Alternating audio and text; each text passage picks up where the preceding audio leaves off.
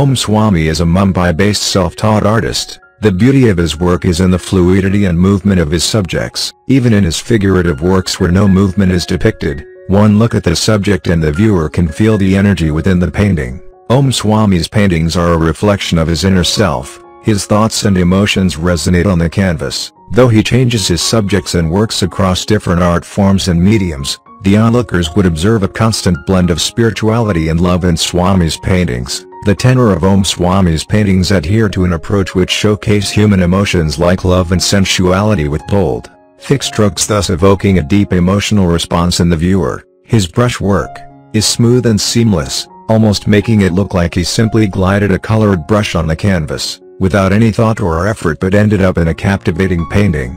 Abstract, spiritual or romantic, Om's paintings are poetry on canvas.